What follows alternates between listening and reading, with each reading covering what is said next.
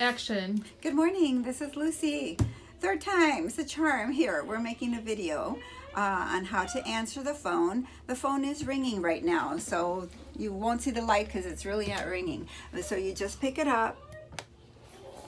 Good, good morning, Behavior and Learning Solutions. This is Lucy. Yes. How may I help you? Oh, yes, you have an insurance call. One moment, please. You press the hold button. Insurance calls are usually for Brittany, so what you're going to do is press the page button, select Brittany, and it tells you who is who right over here, what number she is. Brittany is 2. So you go down to 2, and then you press, press the select menu button here. Brittany, you have a call on line 1. It's Mrs. Smith. She has an insurance call. Brittany, line one. Brittany answers the phone. Hang up. It stops blinking because Brittany picked it up. So it should be red when Brittany picks it up. Uh, what if it's paging leads?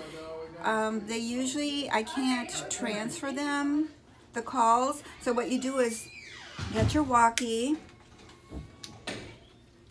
um, yes, hold on. I will get that person. Put them on hold. Get your walkie and say, um, Brittany, you have a call on line one. Brittany, you have a parent call on line one. And hopefully they will answer. And then you make sure that someone does pick it up. If they don't, go look for them or have find someone to help you find them so that the parent doesn't wait and has a terminal hold. Um, also, what if they see. need Becky or Van or Stephanie? If they need Becky, Van, or Stephanie, those names are on here as well. Brittany is two. Sweet E is four or three. Make sure to speak loud because they don't hear you very well over there. It's usually, I don't know if it's on low or what, but just make sure that it is picked up. Don't leave the phone unattended until that line is picked up. It will turn red when that person picks it up.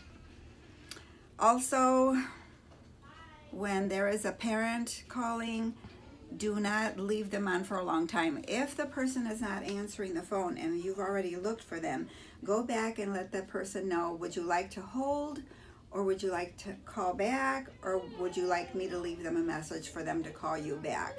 Do not leave anyone on hold. That is very unprofessional. It's not nice. And just um, have them call you back or you can call them back. And I think that's it.